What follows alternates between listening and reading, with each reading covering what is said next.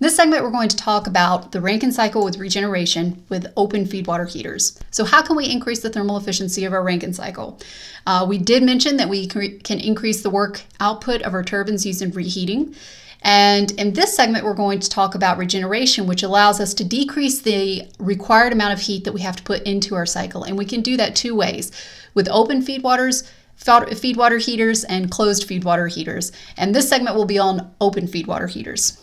So let's look at the cycle.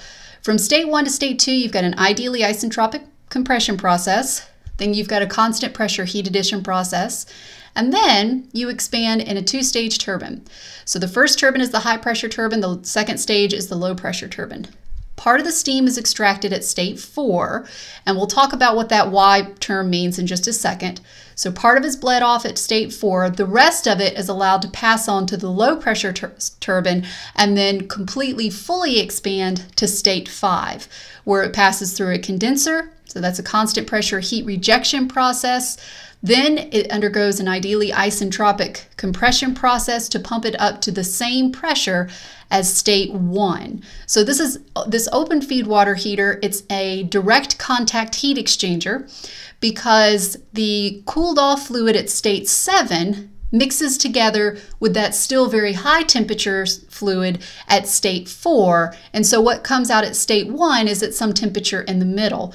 Essentially, this extracted steam preheats the all the rest of the flow that was allowed to fully expand in that second stage, that second expansion stage within the turbine. Um, the effects of regeneration, well, it decreases the amount of heat that we have to put into the cycle because we've preheated it. We've, we've increased the temperature a little bit more than it would have been coming in at state two. Um, and so we don't have to add as much energy to get it up to the temperature at state three. Um, it does have the effect of decreasing the work output of those turbines because you're bleeding off some of that steam early in the expansion the expansion process, and so the energy that would have been available that are, that's extracted is no longer used to produce work. But the overall effect should be to increase the thermal efficiency. Um, and it'll be your your job as a design engineer to you know figure out what that balance is. All right, so let's handle those Y's. So the Y indicates uh, to you the fraction of steam that's bled off. So Y is equal to m dot 4, the mass flow rate at state 4, divided by the mass flow rate at state 3. So let's see where our mass flow rates are constant, or, or, or not constant, but equal to one another because unlike every single other cycle that we've looked at so far, um, all of the Brayton cycles and Brayton cycle with regeneration, reheat, intercooling, Rankine cycle, Rankine cycle with reheat, all of those have just been one big loop. But here we've it's not one big single loop. You're bleeding off steam. You're bleeding off steam, so the the the, the flow splits. So let's look at where those mass flow rates are equal. M dot one, M dot two, M dot 3, those are all equal to one another. That's all the flow joined together. And I'm just going to call that M dot since it's all the flow joined together. All right, so let's see. 1 minus y is the fraction of steam that's allowed to fully expand in that low pressure turbine. So this is m dot 5 divided by m dot 3, or you could put that m dot 3 in terms of just m dot if you wanted to. So let's look at where the mass flow, flow rates are constant for, or um, the same on the other streams. So m dot 5, m dot 6, and m dot 7 are all equal to one another, and then m dot 4 is just kind of off by its lonesome self. Um, I have drawn all these um, these little these little dotted lines on our diagram here to indicate to you that it's not the full flow, it's not all of the flow, and we've kind of divided things up. But typically you'll just see these drawn as, as, as straight lines. And so going forward, that's the way I'm going to do it. Not as a dotted or dashed line, just as a solid line. All right, so how do we find Y? Well, you analyze that open feed water heater. So here's my open feed water heater, and I'm going to apply an energy balance. I'm going to assume everything's operating at steady state. This is a direct contact heat exchanger, and so the only heat that you want exchanged is between the stream at 4 and 7. And so this whole unit is going to be insulated. So Q dot's equal to 0. there's no work, there's no changes in kinetic and potential energy, and so all you're going to have is the sum of the m dot h's coming in equals the sum of the m dot h's going out. All right, so we've got stuff coming in at 4 and 7, stuff leaving at 1. And then I could divide through by the mass flow rate, m dot, which is the total mass flow rate. So remember, m dot is equal to m dot 1, 2, and 3.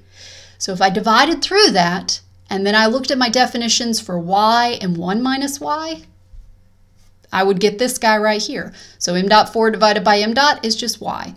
m dot 7 divided by m dot is 1 minus y. m dot 1 divided by m dot is just 1. So I can algebraically solve for y, and if I know all those enthalpies, I've got, I've got an answer there. Um, do be careful about trying to apply the energy balance to the turbines or the compressor, or not the compressor, but the condenser.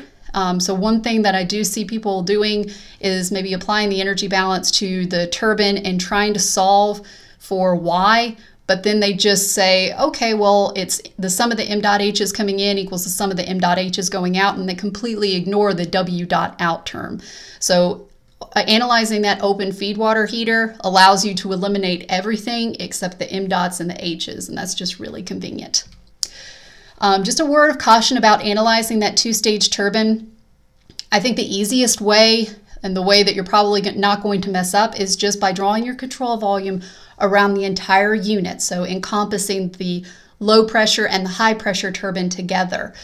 Um, so if you do this, you apply your energy balance, you should get a W dot equals the sum of the M dot H's. Oh, that should be a minus, I'm sorry. The sum of the M dot H's coming in minus the sum of the M dot H's going out.